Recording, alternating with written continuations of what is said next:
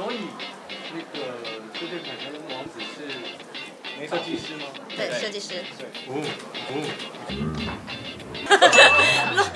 所以整个店设计师就这两位吗？对。嗯哦哦什么？两个就好了。太棒了。谢金燕被问儿子近况尴尬了，修杰楷当发型师不敢对贾静雯动刀。我真的没有想过，第一堂课我们就要剪一个真实的模人，自己也要够潮才说服得了你的客人啊。对对对对不对？不像修杰楷好像做政策的。我觉得他这样穿挺好的，各个场合都适合，你可以去参加葬礼啊。黑金不惊喜意不意外，谢金燕感念制作人王伟忠恩情，破例下凡录制实境节目。这位艺术总监肯定是被总经理聘吧？姐姐到底拿了多少酬劳？怎么可能？难怪一直压我们。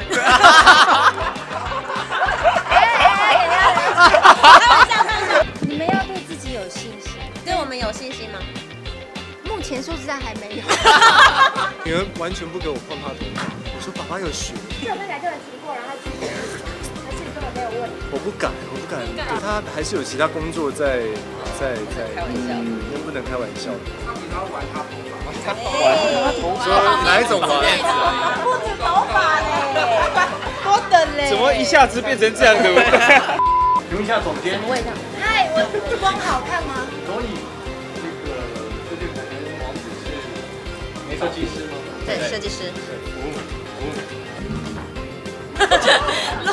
第一个就邀请你去店里来，所以整个店设计师就这两位吗？对。哦什么？两个就好了。太棒了！我们真的剪不好，我下下跪。敢不敢让修姐姐是王子？不会。修一点发尾嘞。后 ending 修一点发尾。你们两个觉得要多久才才能够放心的让你们？我希望在最后一集前。慢慢打。二零五六年的时候。可以吗？呃，心灵辅导。客人如果剪不好，会来问我们一些。没那么难看呐，来喝一杯啦。不用不要营业了，不用不用营业了。只要客人不要翻脸就。